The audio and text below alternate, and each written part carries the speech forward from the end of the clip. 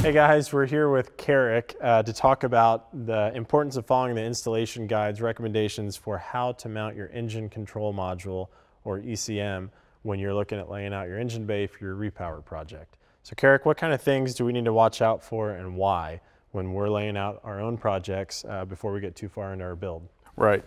So as you know, when you start doing any new project, your engine compartment gets pretty full. So you start to look for where can I put my sensitive electronics so they are safe and I don't get stranded on the side of the road. Some main things to consider is if you look at your ECM on the top, it has cooling fins. Those need to make sure you have adequate airflow around the ECM such that it doesn't overheat.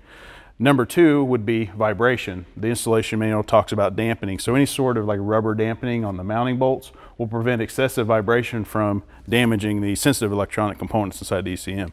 Uh, third would be orientation. Orientation, there's some kind of orientation maps in the installation manual that tell you these angles are okay, these angles are not. So you need to make sure that you orientate your ECM such that the it fits within the guidelines.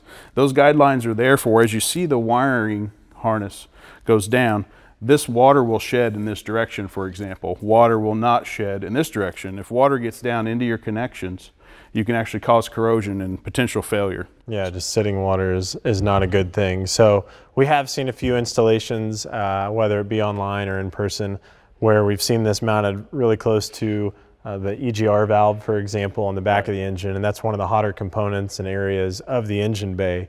Uh, so would recommend not turning these into heat sinks in the opposite direction, right? Uh, which that can happen. Or we've seen them tucked, you know, behind the um, uh, the wheel well or the fender well a little bit to where if mud were to get through there, a lot of water, it could clog up these uh, cooling fins and then completely uh, negate the ECM's ability to cool. Uh, so really pay attention to that because you don't want to be stranded. Uh, a lot of you guys have 4x4s. You're going to see a lot of uh, different terrains. You're going to see a lot of high shock load and things like that.